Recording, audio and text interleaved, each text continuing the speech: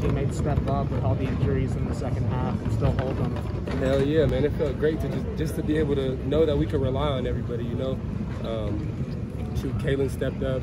You know, had to play a big role with Zay being out, so real proud of him. You know, he made some key plays. Uh, Jaden and Josh Jackson came in towards the end of the game when me and IT stepped out, and you know they they played their role. So you know, I'm very proud of everybody. I'm proud of the growth that we're making as a defense and as a unit as a whole. So you know, I, it'll be really exciting. You know, we're just gonna keep getting better week by week.